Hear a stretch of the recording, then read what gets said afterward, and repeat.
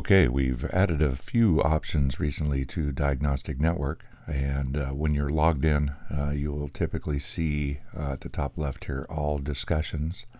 You can drop that down now and uh, go to my watched topics. So those are defined through this uh, selection icon here. You can look at my discussions, anything that I've authored. The new item that we've added is types, message types. So we have uh, now um, we have bounties, uh, and then you can filter by case studies, demonstrations, discussions, events, questions, and so on. The item I wanted to highlight here are resources.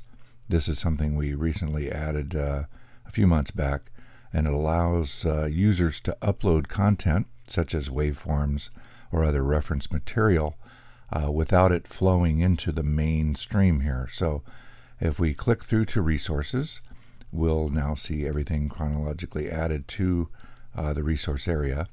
If you want to filter even further, you can select the search icon here and either type in a keyword or take advantage of the makes. So if I want to look for all GM related resources, uh, there I, I, can filter for that and uh, see that information.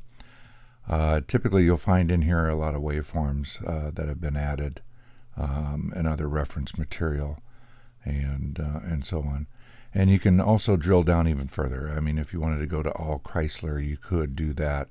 Um, but in some cases, what you're typically want going to want to do is maybe select the higher level, all FCA, and then maybe uh, type in um, the engine, you know, 2.4 liter, um, to see what uh, what you can turn up there uh, as well. And anytime you want to get back to the main homepage, just click on the Diagnostic Network logo.